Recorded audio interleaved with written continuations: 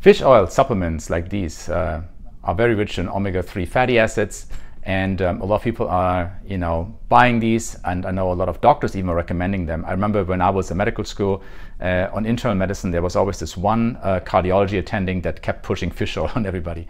Because of the omega-3 fatty acids there were some studies that showed that it had some heart protective properties.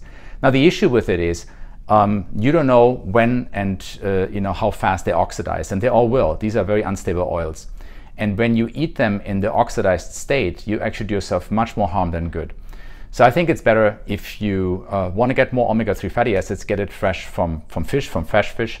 Make sure the fish you're consuming is not heavily contaminated with heavy metals or microplastics. Um, but also you may not need as much as you think. So having a balanced diet and um, you know having some good animal fats in there as well will probably give you enough that you don't need to supplement with anything else.